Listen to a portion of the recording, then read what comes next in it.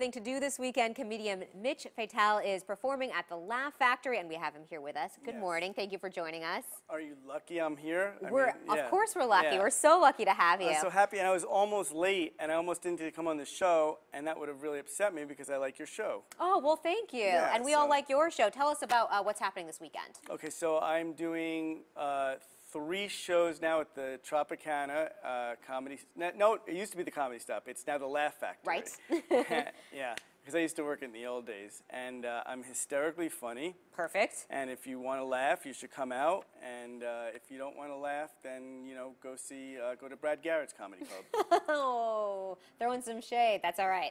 Uh, you're not the only comedian who's performing though this weekend. Is that? no, no, there's another comedian named Brian Scolaro who's actually a wonderful act.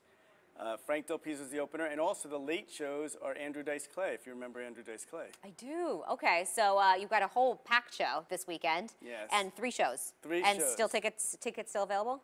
Yeah, I mean, you know, I I sell pretty well because I've done pretty well for myself. But yeah, we, there's always tickets. We can always fit people in. It's Vegas, you know. Right, and you you have you've been around for a while. Tell us a little bit about uh, your career up to this point. My career up to this point has been very interesting. I uh, I started out as a Howard Stern intern. Wow. Yeah, I always wanted to be in comedy, and uh, Howard Stern was a big. I was a big fan of his, and I got a internship working for him, and I thought he would tell me how funny I was and say, "You're going to be obviously a famous stand-up comedian." Right, you got your career laid out for you right then. And the first day he met me on the air, he said, uh, "You realize you, you you have to be funny to be a comedian, right?" And I said, "But I'm funny." He was like, "I don't think you're funny. I don't think you're going to make it." And uh, that was my introduction to show business. and then 15 years later, after I did my first Letterman, I went back on his show, and he told me he was proud of me.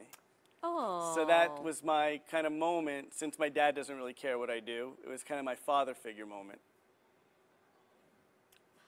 Okay, so um, so your shows are this weekend, and um, still tickets available, and we're going to put all that information on our website, ktnv.com. Awesome. All right, yeah. thank you You're so gonna come to the show, right? Absolutely. Yeah. Absolutely. And we'll talk about Britney Spears and Amanda Bynes. And Syracuse. That's what we were talking about before. all right, thank you so much. Thank you.